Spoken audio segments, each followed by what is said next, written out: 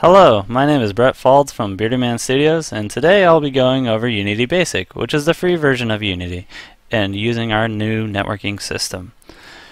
First, I will import our networking system into a blank Unity project and attempt to build an APK out to see what will happen. After doing so, I will then use good old sockets to allow for our networking solution to work with Unity Basic.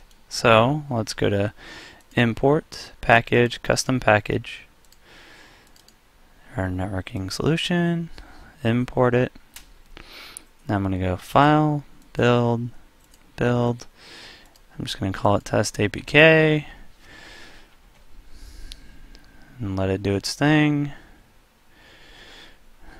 And there you have this wonderful error message called Error Building Player System Exception System.NET sockets are supported only with Unity Android Pro, which will also give you the same error in iOS.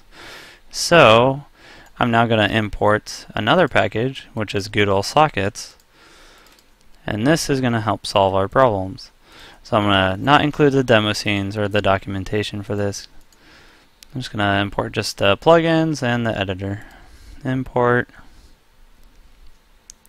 Now that this is imported, I'm going to go to Tools, Lost Polygon, good old sockets, and then I'm going to hit Patch our system. You're going to get another dialog that pops up. You're going to hit OK. Let it do its wonderful thing. It'll say assembly has been successfully patched. And now I'm going to attempt to build out again. I'm going to hit build. Same thing, same process.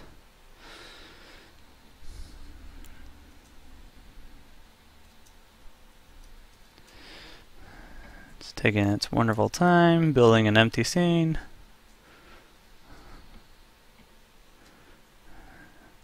And there you have it. It was able to build successfully our test APK with a blank scene in it using good old sockets.